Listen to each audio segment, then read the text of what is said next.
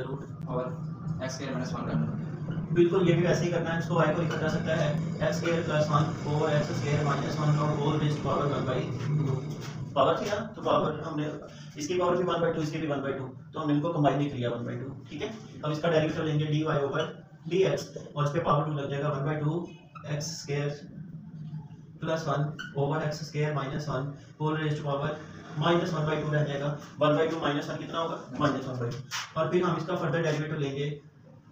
जब हम इसका विदाउट पावर डेरिवेटिव लेंगे तो हम इसको इस तरह लिख सकते हैं d over d x of x square plus one over x square minus one अब हम इसको स्टेप से शॉर्ट कर सकते हैं। ये हमारे पास एक्स स्क्वायर प्लस वन की power minus one by two over x square minus one की power minus one by two और इसको इसको हम उसके ऊपर क्वेश्चन टू लगाएँगे। एक्स स्क्वायर माइनस वन का whole square x square minus one वैसे ही और डेरिवेटिव होगा एक्स स्क्वायर प्लस वन का तो हम डायरेक्ट लिख सकते हैं एक्स स्क्वायर का डेरिवेटिव टू एक्स और वन का डेरिवेटिव ज़ीरो दरमियान में माइनस आएगा। अब अब एक्स स्क्वायर प्लस वन वैसे ही आएगा और डेरिवेटिव होगा एक्स स्क्वायर माइनस वन का एक्स स्क्वायर का डेरिवेटिव टू एक्स और वन का डेरिवेटिव ज़ीरो हो जाएगा।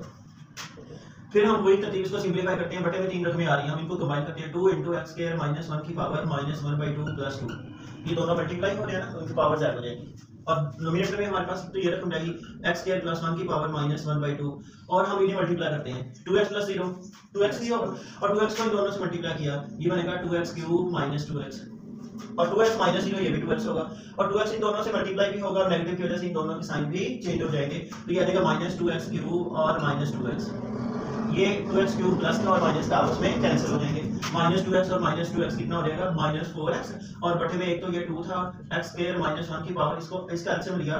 तो ये वही थ्री बाई टू बना। और पावर नेगेटिव है, बटे में आप कह एक्स स्क्वायर प्लस वन की power plus one by two रह जाएगी, ठीक है? और टू से फोर कैंसिल हुआ तो क्या रह जाएगा? हमारे पास टू रह जाएगा। तो हमारा फाइनल आंसर आ गया minus two x over x square minus one की पावर थ्री बाई टू और इसको लिख सकते हैं under root x square plus one इसका आंसर